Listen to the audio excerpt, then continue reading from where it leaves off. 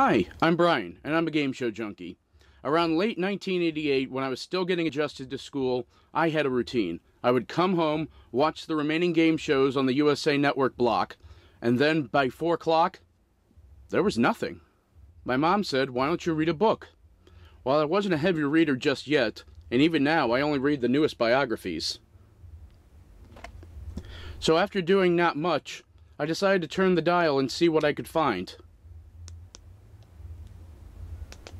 You want to tell me something, sir? Were you running with uh, Mr. Roy? Yes, I was. No. Um, says you're being used by white power organizations. Ugh, no. We've heard that a lot of- Alright, way to go. Let's hear for the gold team. Alright, here's how we play the game. First two teams are gonna Red team, gold team? Is this supposed to be like Double Dare?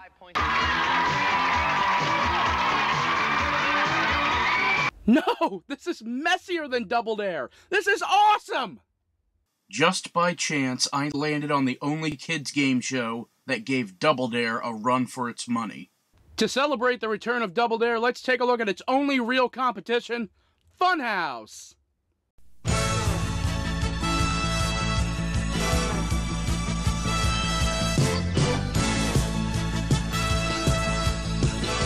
If you're ready, let's get messy!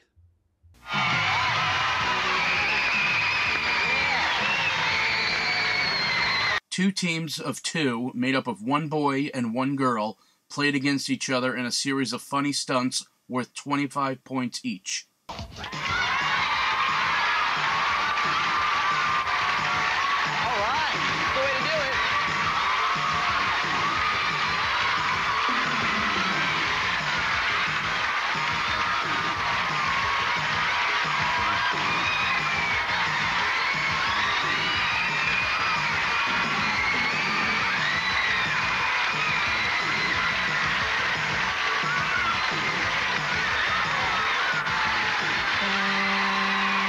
After each stunt, they come back to center stage for a bonus question, also worth 25 points. The question usually has something to do with the stunts just played. Sleeping Beauty didn't sleep in a sleeping bag. But in the film Sleeping Beauty, did the prince wake the princess by singing to her? Shelley. Gave her a kiss. Who? He kissed her all right for 25 points. That's right. Each show's stunts would be set up boys versus boys, girls versus girls, and team versus team. The stunts had their variety. The most used was get the most of something in a container in a time limit. If there was a tie, both teams were awarded 25 points. Another kind was strictly luck based. The team had to get two of something to win the stunt. It ranged from picking up a pie with their teeth to get two Big Win pie tins, to finding oil in a mini derrick, to getting $2 bills in a box, and getting a shower of water instead of glop. These stunts never ended in a tie. Then there were my top two favorite stunts because they were the messiest the slop machine and Dumpo. Just look.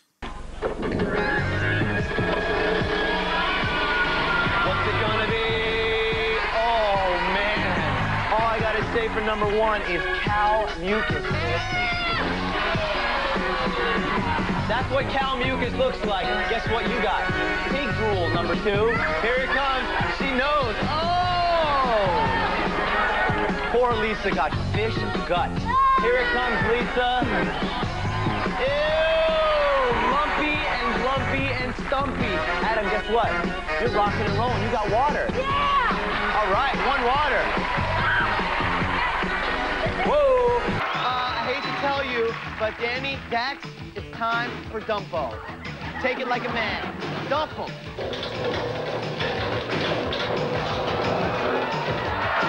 Oh! Oh no!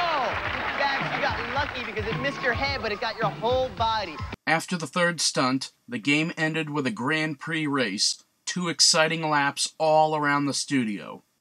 The boys or girls started pushing their partners or running freely around the track. When they got to a station, they had to perform something before moving on. As they ran around the track, they picked up 10 and 25 point tokens to add more points to their score. If a token hit the ground, it was out of play and they couldn't pick up the token. For the second lap, they'd switch lanes and jobs.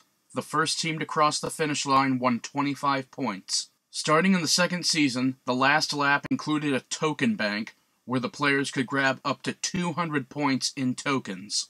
After the race, the tokens were counted and points added, starting with a team trailing. The team with the highest score wins and goes into the funhouse for a ton of cash and prizes. In the rare case of a tie game, a tie breaking question would be asked.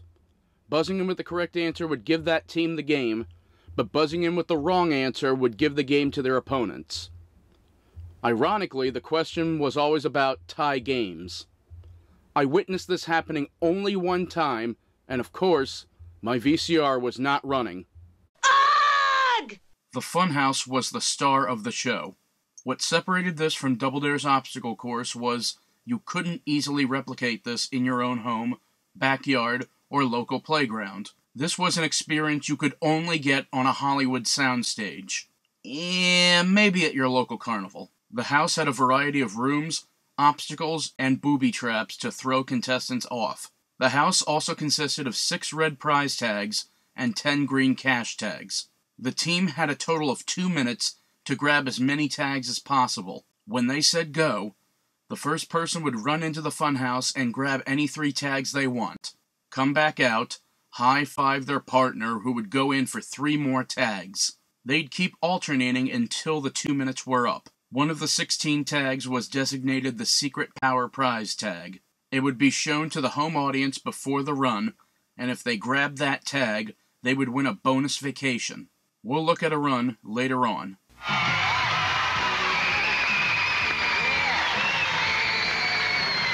Just like the other kids' game shows of the time, set designers Anthony Sabatino and William H. Harris made the set pop with bright, vibrant colors all around the set, from orange to white, in just the right places. What set Funhouse apart from the other kids' game shows was the team colors. Instead of red and blue, they went with red and yellow in an attempt to stay with the vibrant colors. This also helped them in some stunts where they had red ketchup glop and yellow mustard glop. Another key visual was the twin cheerleaders Jackie and Samantha Forrest, who brought out and introduced the teams. Not only would the contestants be rooted on by the audience, but they had their own personal cheerleader. That's awesome. They would also sort of demonstrate what the contestants had to do in the stunts, the race, and in the funhouse. Of course, the biggest visual was the mess. The messier the contestants got, the more excited we got. Not only were the contestants getting messy in the stunts, but they were also getting messy during the race at times. The non-stop mess made us extremely happy.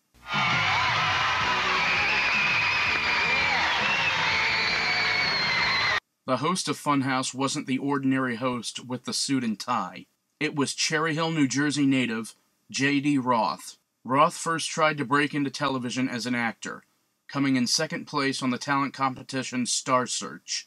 At age 19, Roth was the youngest game show host of all time. Not only was J.D. young, but he seemed to be the older brother or older cousin we all would like to have. If something went wrong in the funhouse, JD would try to help them around the obstacle. Oh, pull, keep going, pull the door. Pull the door. No, no, no, no.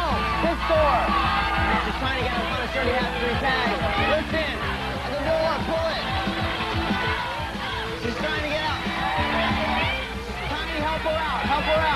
out. Get out.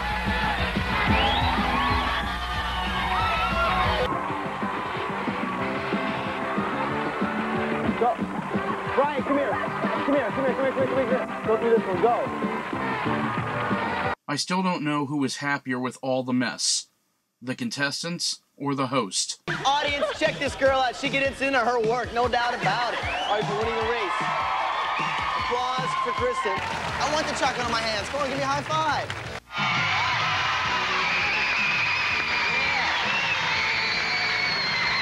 Themes and sound effects were big for me and a lot of other viewers. Score Productions put together a magnificent theme song for Funhouse. It's upbeat and feels almost carnival like. In fact, if you went to your local carnival and walked up to their funhouse, you'd probably hear the theme in your head.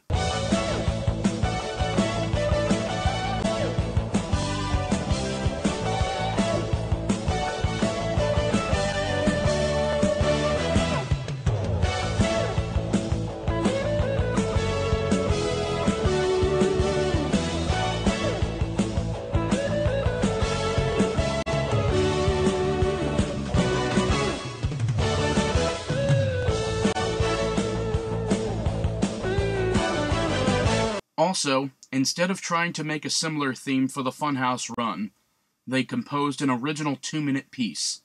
Derek's on his way into the funhouse. He's going into the balloon cave. Yeah, he did that beautifully. He's heading on into the Fryzo Max. Which one is it? Oh, he got it on the first try. Way to go.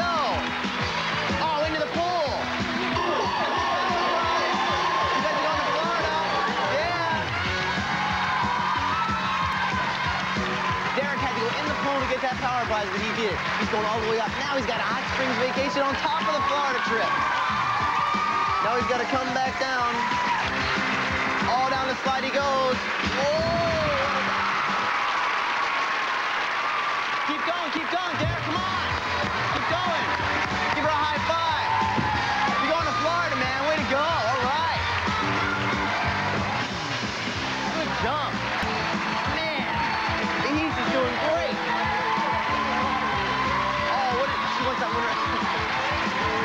Sports package. She found it. Go for it.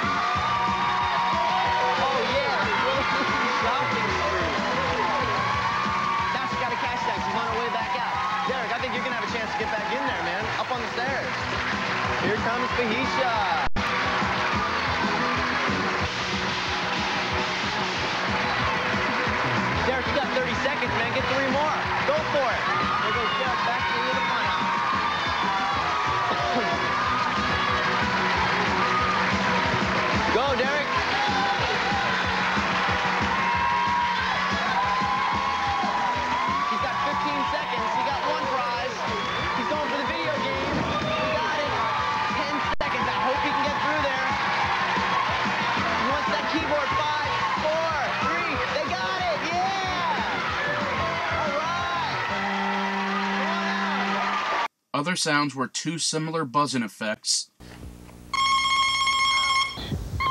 a time's up horn, and a sound for points being added. two, three, four.